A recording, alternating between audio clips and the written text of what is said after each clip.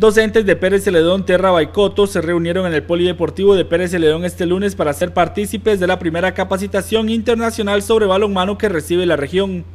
Ellos resaltaron la importancia de contar con expositores internacionales en un deporte poco tradicional en el país. Eh, este evento representa el, nacimiento del balonmano no solamente en Pérez Celedón, en toda la zona sur. La Federación de Balonmano ha pretendido expandir este deporte y desde que está en Juegos Nacionales eh, este deporte ha venido avanzando muy rápido, de pasar de, 300 atletas a nivel nacional, pasar a, a, 2.000 atletas. O sea, es un avance muy rápido de Juegos Nacionales.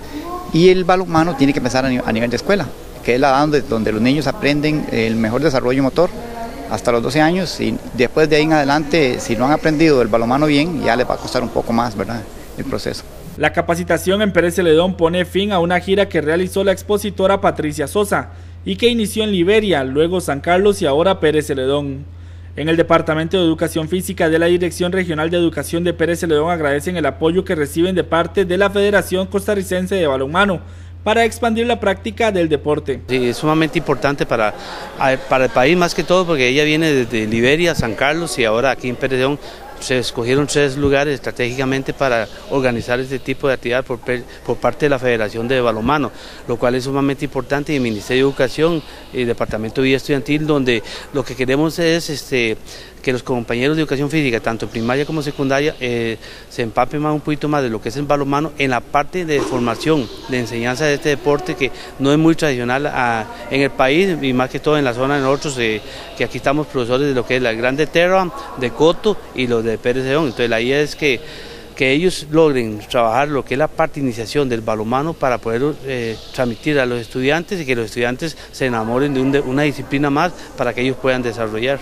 La encargada de realizar esta charla fue la española Patricia Sosa, quien viajó desde Sevilla, en España, para compartir su conocimiento con los profesores de educación física. Bueno, el objetivo de venir para acá no ha sido porque yo de Sevilla he querido venir, sino porque desde la Federación Internacional de Balonmano, con el programa Balonmano en la Escuela, o Jamalas de School, pues tiene un grupo de expertos que eh, ofrecen este programa a distintos países donde hay menos desarrollo de balonmano.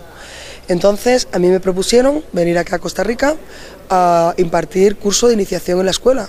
Como yo soy docente, soy profesora de educación física, soy entrenador de balonmano, pertenezco al grupo de expertos de la Federación Internacional y Costa Rica, país hermano, pues dije, claro que estoy dispuesta a ir para allá, a ofrecer mis conocimientos, mis experiencias, a transmitir y sobre todo a intercambiar. A pesar del poco conocimiento de los docentes, la española resaltó el interés y las ganas de aprender de muchos. Bueno, a mí lo que más me ha gustado es que tiene mucho interés. Entonces eso me hace sentirme útil porque si vengo aquí a perder el tiempo no estamos para ello. Entonces yo he visto muy receptivos, con muchas ganas de aprender para luego aplicar en su escuela. El objetivo es que desde la escuela se dinamice el balonmano para que los niños cojan ese hábito, esas ganas, esa diversión por este deporte menos practicado aquí y que luego vayan creciendo a los colegios y vayan pasando a clubs y el nivel del balonmano en el país crezca. La idea con esta capacitación es dotar también de recursos los centros educativos para iniciar la formación de los jóvenes en este deporte.